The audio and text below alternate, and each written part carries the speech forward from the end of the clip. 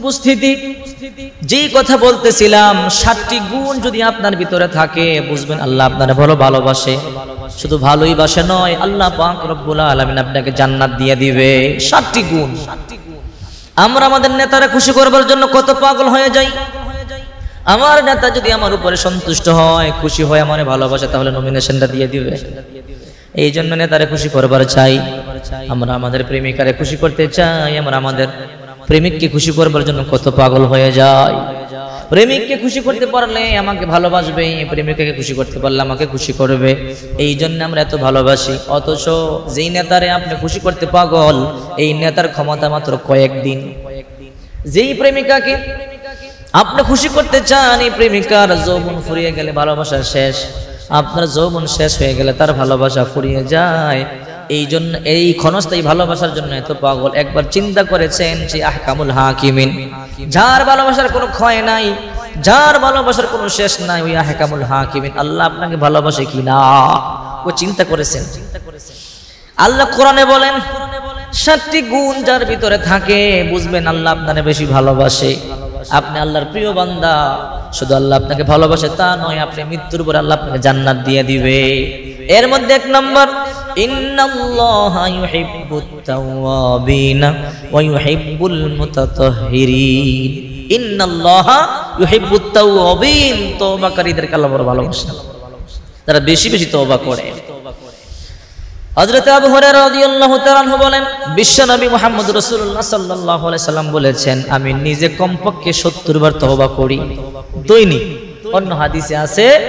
নবীজি প্রতিদিন কমপক্ষে 100 বার তওবা পাঠ করেন। বলতে পারেন, হুজুর, নবীজির কোনো গুণা ছিল না, অন্যায় ছিল না, অপরাধ ছিল না, নবীজি কেন তওবা করে? কারণ আল্লাহ পাক বলেন, তওবাকারীদেরকে আমি বড় পছন্দ করি। এই জন্য নবীজি 100 বার দৈনিক তবা করতেন, আল্লাহর কাছে আরও প্রিয় হওয়ার জন্য। নবী তো এমনি প্রিয়। অথচ যেই নবীর কোনো গুণা নাই, ওই নবী যদি প্রতিদিন একশো বার তবা পাঠ করতে পারে, আপনি আর আমি কেন পারব না? আমাদের তো গুনার শেষ নাই। অথচ আমরা তবা করি না। রসুল বলেন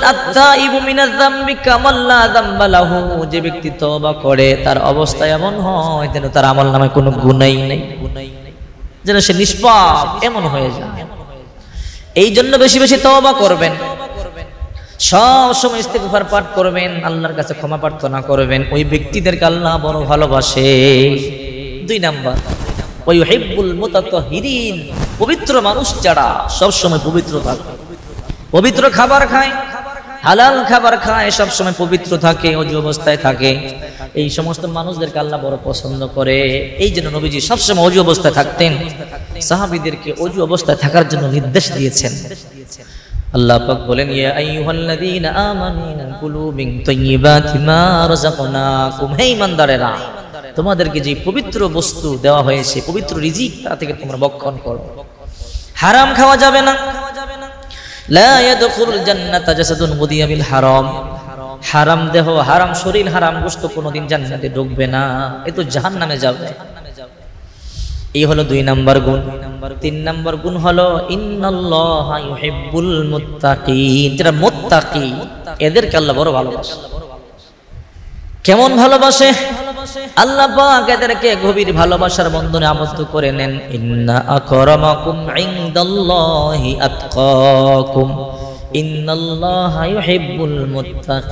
এই জমিনে সবচেয়ে আল্লাহর কাছে চলে যায়। নিঘুর ভালোবাসার বন্ধনে আবদ্ধ করে নেয়। যারা আল্লাহর ভয় করে, আল্লাহর ভয়ে গুনাহ ছেড়ে দেয়, আল্লাহর ভয়ে অন্যায় ছেড়ে দেয়, অপরাধ ছেড়ে দেয়, মনে মনে চিন্তা করে, আজকে অন্যায় করতেছি, জুলুম করতেছি, ক্ষমতা আছে, এই ক্ষমতা তো চিরস্থায়ী না। কারণ সর্বক্ষমতার মালিক আল্লাহ। আজকে অন্যায় করে যদি আল্লাহর কাঠ করায় দাঁড়ায়, ওখান থেকে কিন্তু পালায়ন করতে পারব না, সেখানে ঘুষ চলে না। এইরকম ভয়। তিন নাম্বার গুণ অন্তরে আল্লাহর ভয়। যারা তাকওয়া অবলম্বন করে, আল্লাহকে ভয় করে গুণা ছেড়ে দেয়, অন্যায় ছেড়ে দেয়, অপরাধ ছেড়ে দেয়, এই সমস্ত মানুষদেরকে আল্লাহ বড় ভালোবাসে। চার নাম্বার যারা মুহসিন, আল্লাহ তাআলা এদেরকে বড় ভালোবাসে। মুহসিন কারা? যারা একে অপরের উপকার করে, পর উপকার যারা করে। একজন মানুষকে আপনি উপকার করলে আল্লাহ বড় পছন্দ করে। একটা মানুষ অন্যায় করেছে, আপনি ক্ষমা করে দিলেন, আল্লাহর কাছে এটা বড় পছন্দ। অথবা এমনিতে আপনি উপকার করেন, আল্লাহ পাক এটা বড় পছন্দ করেন। বিশ্বনবী মোহাম্মদ রসুল্লাহ সাল্লাহ সাল্লাম বলেছেন, তোমরা একে অপরের উপকার করো। একটা মানুষ রাস্তা দিয়ে হেঁটে যাচ্ছে, একটা বোঝা মাথায় তুলতে পারছে না আপনি তাকে হেল্প করবার জন্য নিয়ত করে চলছেন, আপনি বোঝা উঠাতে না পারল, এই যে আপনি নিয়ত করেছেন, চেষ্টা করতেছেন, যাচ্ছেন, এই জন্যেই আল্লাহ পাক দশ বছর এতে কাফ করবার সমপরিমাণ সব দিয়ে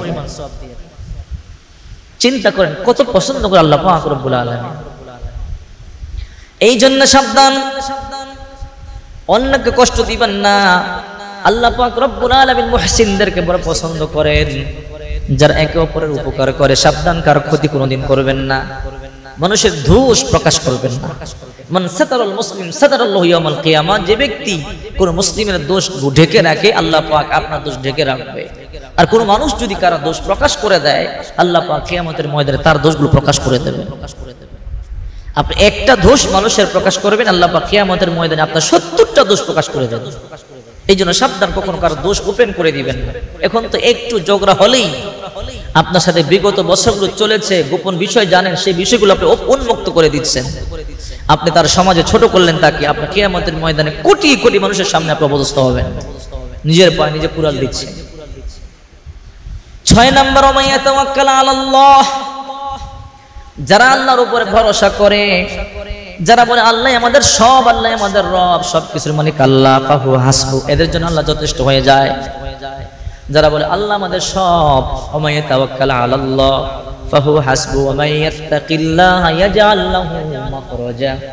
যারা আল্লাহর উপরে ভরসা করে, তাকওয়া অবলম্বন করে, আল্লাহ পাক রব্বুল এদেরকে সমস্ত বিপদ থেকে বাঁচান। ওয়ারযুকুহু মিন হাইতু লা ইয়াহতাসিব এরা কল্পনাও করতে পারে না। ধারণাতীত জায়গা থেকে আল্লাহ তাআলা এদেরকে রিজিক দিয়ে দেয়। নাম্বার 7 যারা বিপদে ধৈর্য ধারণ করে, এদেরকে আল্লাহ পাক বড় পছন্দ করে। আল্লাহ পাক বলেন, আল্লাযীনা ইযা আসাবাতুহুম মুসিবা, ক্বালু ইন্না লিল্লাহি ওয়া ইন্না ইলাইহি রাজিউন। যারা বিপদে পড়ে বিপদে পড়ে বলে আমরা তো আল্লাহরই জন্য। আবার আল্লাহর কাছে ফিরে যাব, এদেরকে আল্লাহ বড় ভালোবাসে। ইন্নাল্লাহ মা সাবিরিন, ধৈর্যশীলদের সাথে আল্লাহ পাক আছে। অবশ্যই সাবিরিন। আল্লাহ পাক বলেন, সবর যারা করে, ধৈর্য দ্বারা, ধৈর্য ধারণ যারা করে, এদেরকে তোমরা সুসংবাদ দাও। ওয়ালা নাবলুওয়ান্নাকুম বিশাইইম মিনাল খাউফি ওয়াল জু'i ওয়া নাকসিম মিনাল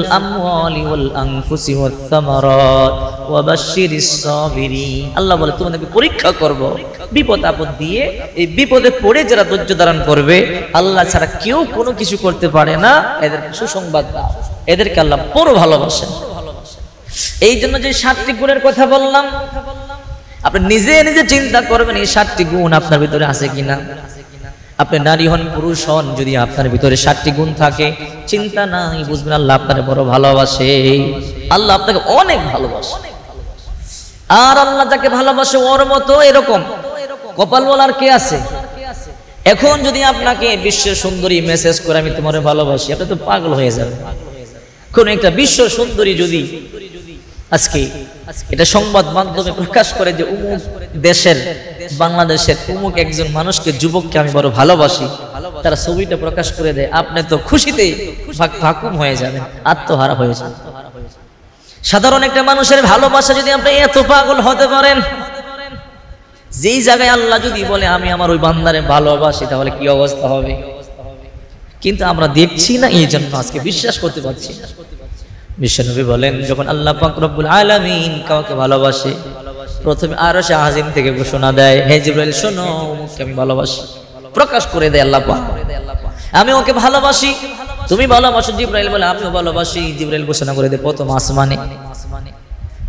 আল্লাহ যারে ভালোবাসে, সাত আসমানে ঘোষণা হয়, তারে ভালোবাসি। পরিচয় করিয়ে দেওয়া হয়। এরপরে জমিনবাসীদেরকেও বলা হয়, মাখলুকাতকে পর্যন্ত বলা হয়, পিপিলিকাকে পর্যন্ত বলে দেওয়া হয়। অমুককে আল্লাহ ভালোবাসে। চিন্তা করেন, আল্লাহর ভালোবাসাটা কেমন?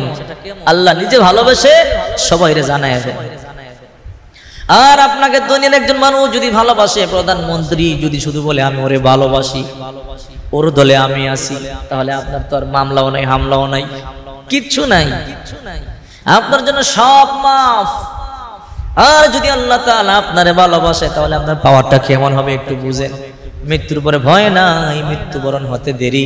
আপনি মরতে দেরি, জান্নাতে ঢুকে যাবেন। ফেরেশতারা কোনো কিছু বলবার সুযোগ নাই। প্রধানমন্ত্রী যদি ভালোবাসে এই কথা যদি প্রধানমন্ত্রী ঘোষণা দেয় সংবাদ মাধ্যমে, আমি ওরে ভালোবাসি, কেউ আপনাকে কোনো কিছু বলবে না। আর সেনাবাহিনী, র্যাব, বিডিআর, পুলিশ, কেউ আপনাকে কিছু বলবে না। প্রধানমন্ত্রীর লোক আর আল্লাহর লোক হতে পারলে ফেরেস্তারা বুঝে আপনারা জিজ্ঞাসা করবে? কখনোই নয়, এই জন্য আল্লাহর ভালোবাসা অর্জন করেন। এই সাতটি গুণ যদি আপনার ভিতরে থাকে, আপনি সফল। দুনিয়াতেও সফল, পরকালও সফল। এই সাতটি গুণ অর্জন করবার তৌফিক আল্লাহ পাক আমাদেরকে দান করেন আম